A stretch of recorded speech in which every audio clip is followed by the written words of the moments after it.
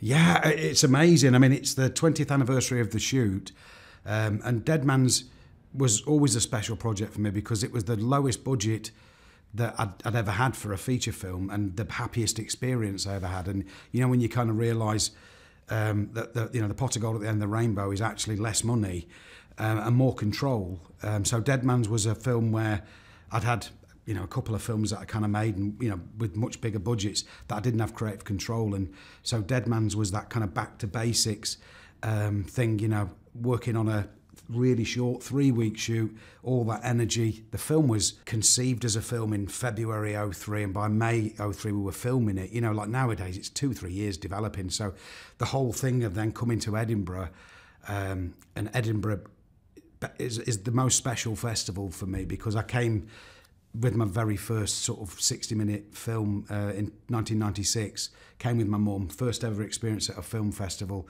first ever interview you know all that so it always had a very special place dead man's as a project was very important for me because it sort of taught me about how to get back to basics and forget all the tricks um, and then to be back at Edinburgh just seems so fitting because it was the you know the first time I, I ever sort of saw this side of the world um, you know in 1996 Deadman Shoes is obviously made 20 years ago. I don't tend to, because when you make something, you edit it four million times, you have screenings, you end up, it's like a song, you know, you really like a song and then you listen to it too much. Um, so I hadn't seen it since about 2005 and 10 years ago. There was a, the last time I saw it was 10 years ago, there was a screening um, at a, a, big old steelworks in Sheffield and they did a live score. So I, I saw it in 2013. I haven't seen it for 10 years. Um, and um, so you know, so ultimately I, am going to watch it with a, um, an audience tonight and sort of through squinted eyes to, to see how it stands up. Because, um, you know, not everything ages well, does it? But, um, but from the amount of, you know, when, I don't get recognised a lot, obviously being behind the camera, but when, when I do, it's almost annoying that the first thing that comes out of most people's mouths is Dead Man Shoes. Obviously, this is England, you know, it is, a lot of people like this is England, but there's something about Dead Man Shoes that seemed to resonate with people above everything else I've made. Um, and so it'd be really intriguing to see how it stands up 20 years later. Yeah, I mean, it, it's because obviously it, it happens so slowly and, and it's it's testament to the film, you know, and obviously, you know, sitting and writing it with Paddy about 20 years ago and doing the first sort of script and just basically not, not kind of knowing really. Um, whether you could make a film for that kind of amount of money and still kind of hit it. And then it coming out in the cinemas at the exact same time as Saw and Saw going huge, and we kind of fell out the cinemas.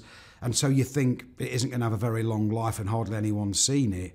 And then DVDs start to get handed around. And what's really rewarding is the fact that it, it's been passed by word of mouth. People have kind of gone, you know, you need to see this, or I think you should see this. And that's probably more special than having a big run in a cinema because people have not let it die. And so it's this thing where um, it's been brought into that, you know, consciousness. And obviously, it's difficult from this side of the fence eh, to know exactly, you know, to what level. But the fact that um, people have not let it sort of disappear. It's like my equivalent as a kid was something like With Nell and I, you know, that you kind of, it's one of those films that someone says, you, you know, get that, whack it on your video player and, you know, you'll love it and you fall in love with it and it's a film that you watch again many times. But so it's, it's, it's really special and I think made more special by the fact that it's been people that haven't let it, you know, fall away into the shadows. Yeah, and Warp have this thing, don't they, which is like they they do they're like a 50-50 you know they, so they're artists Every, everything's like shared it isn't one of them where you sign a long-term deal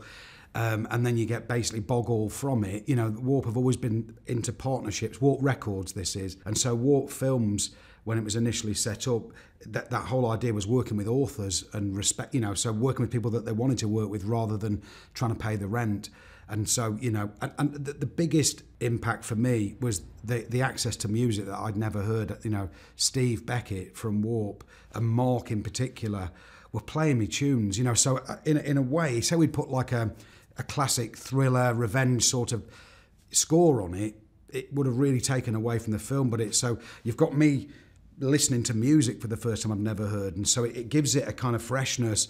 Um, and uh, and as you'd probably know from my stuff, music so integral to kind of how I work that having access to incredible artists I'd never heard, and then them also helping us. That you know they when they did the book, it was completely non for profit. It was like lose everyone that was sold lost money because they want the product to be the best it can be, and, and I love that. You know, it's they're much more about you know rather than thinking I maybe earned 10 grand off that, I'd look back 20 years and kind of go I really still want to own that piece. Yeah. And so, yeah, that, that was the first time I'd worked with someone where it felt like they saw it all the way through to the end with this bespoke, tailor-made, handmade sort of care, um, right down to the people that were distributing it and all of that, you know. So, yeah, they're, they're an incredible company. You know, I, I, th I think there's, I've always loved people in film that are sort of generous, generous with their time and their advice and stuff. And when I first came to Edinburgh, because um, you go to some film festivals and they're not cold per se, but there's you know I remember coming here in 1996, hanging out at the film house and just meeting you know whether it be actors, filmmakers, people associated with the festival, locals. There's this real sense of kind of something that seems out of your reach. You know, from a little place called If someone says film festival, I think can, and you know, you, whereas this had all of that glitz and glamour, but actually felt like I was hanging out at the Broadway in Nottingham, and there was this lovely sense of people coming together, and it's and and weirdly relationships that get formed, and then you see each other on that circuit. You get to see films. If you're from a place like you know I was from, you were lucky to get ET, let alone some independent cinema. So it's that sort of you know, as for the first time especially, being given a pass that gets you into every film and being able to scour the pages and go and see these films that haven't been released into the world yet. It's really special. But I think more so, it's that sense of um, creatives banging heads together and. Uh, and you know and, and sort of sharing ideas and stuff it's so many times i've spoken to people at a festival and then a year later or a year and a half later you hear something that they were talking about pitching is now filming or has now been made um, you know and, and some of those happy accidents happen at these things you know and would never have happened otherwise